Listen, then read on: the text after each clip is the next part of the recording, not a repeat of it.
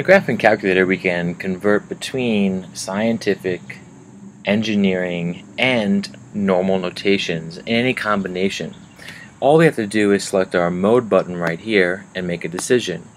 Um, if we're in scientific mode, the middle one right here, any number we enter will be converted to scientific notation.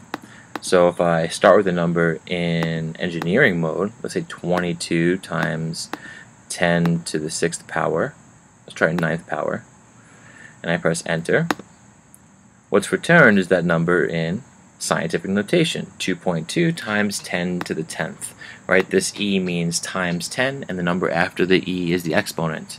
So going back to our mode, if we select scientific notation, if I enter a number in normal notation or in engineering notation, it's converted to scientific notation.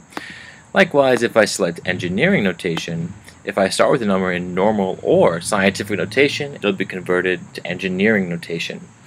And if I select normal notation, um, there are some limitations on how this works. Um, the calculator will display a number in normal notation, but if the number is too large or too small, it will default and display it in scientific notation. Let me show you what I mean.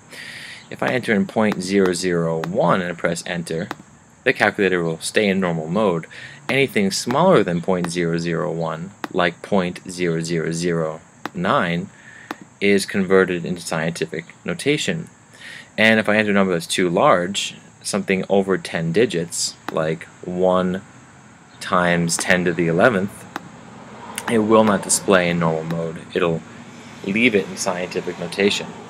Um, so there are some limitations there, but the possibility of conversion uh, is there for you in many cases, and the graphing calculator could take a lot of headache away there. Thanks.